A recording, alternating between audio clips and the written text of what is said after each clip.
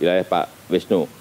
Yang ke-32, I Gusti Ayu Bintang Dharma Wati, Menteri PPA.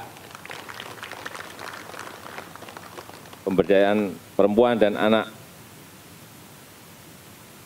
mengenai peran perempuan dalam kewirausahaan, menghapus pekerjaan anak, mengatasi masalah-masalah kekerasan anak dan perempuan,